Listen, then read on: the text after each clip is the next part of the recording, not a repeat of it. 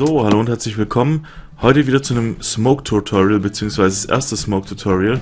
Ich habe jetzt mit den Servereinstellungen ein bisschen rumgespielt und habe alles so schön konfiguriert.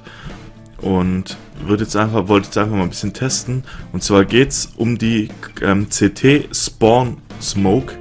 Da gibt es ja verschiedene Varianten. Ich habe einmal gesehen, eine die geht von hier und eine von weiter vorne, keine Ahnung. Aber da ist immer irgendwo ein bisschen ein Schlitz offen. Ich will euch jetzt mal meines Erachtens die beste Smoke für den CT-Spawn zeigen. Und zwar geht die hoch auf das ähm, Podest, zielt nach unten, soweit es geht, und kriecht dann hier quasi nach vorne mit geduckt halten auf diese Ecke. Dann könnt ihr aufstehen. Da ist der markierte Stein, den habe ich schon eingeschossen, aber der ist ein bisschen heller, den sieht man.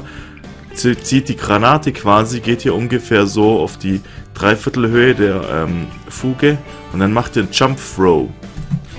Und dann fliegt die Smoke rüber und tut wie gesagt meines Erachtens den ähm, CT-Spawn perfekt absmoken. Ihr seht, hier sind keine ähm, keinerlei Schlitze oder so, wo man durchgucken kann. Durch die Kiste kann man zwar drüber gucken, muss aber springen. Hier kann man nicht wirklich aimen. Selbst schwierig auf den, man kann hier hoch, ähm, kann, aber wird dann in dem Fall auch schon beschossen. Ja, ist ganz einfach zu werfen. Ich zeige es eben nochmal. Ist eben, finde ich, so die einfachste und beste Smoke, was ich bisher gesehen habe in irgendwelchen Videos oder irgendwo.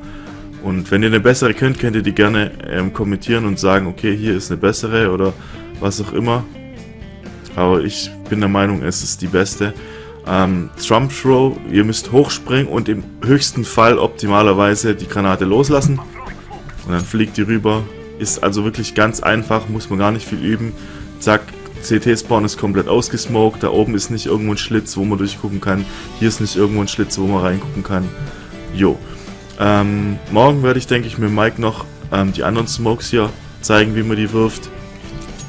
Ist eben für mich auch mal ganz praktisch, mich damit zu beschäftigen, weil ich ja auch die Karten im Prinzip lerne und auch spielen lernen möchte.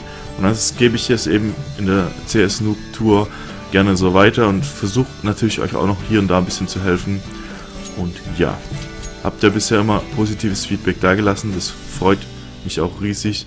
Und ich hoffe, das Video hat euch auch geholfen. Gebt einen Daumen hoch, wenn es euch geholfen hat. Und ich hoffe, ihr seid beim nächsten Mal wieder dabei. Vielen Dank fürs Zuschauen. Ciao.